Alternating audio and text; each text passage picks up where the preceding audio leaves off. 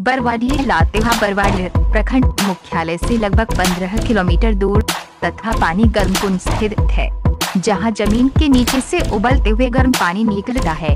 अपने अलौकिक प्राकृतिक सौंदर्य एवं प्राकृतिक विविधता का अनूठा स्थल है, जिसे पर्यटन स्थल के रूप में स्थापित करने की अनंत संभावनाएँ व्याप्त है।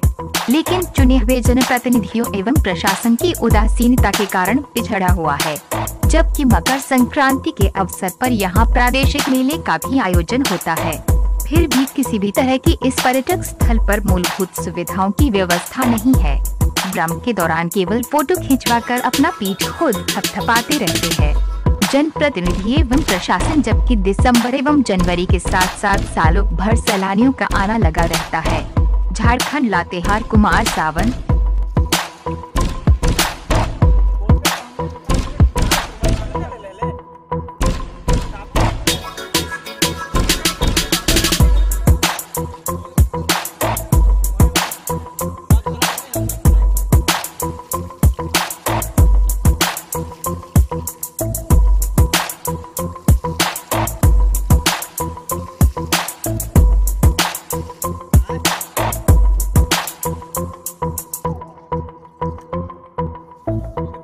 पानी है।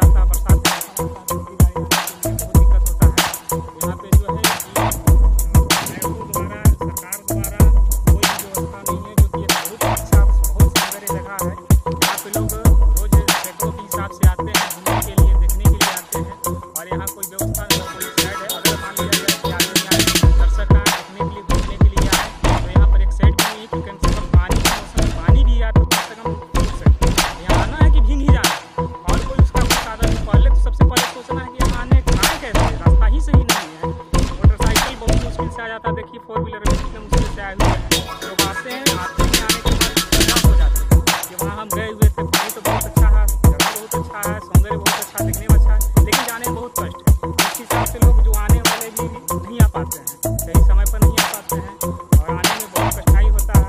बहुत तरह से दिक्कत होता है। लेकिन फिर भी लोग, आने वाले लोग फिर भी सोच के चलते हैं, चलो रोड सही नहीं है, फिर भी घूम लेते हैं। घूमने में क्या जाता है। लेकिन फिर भी हम चाहेंगे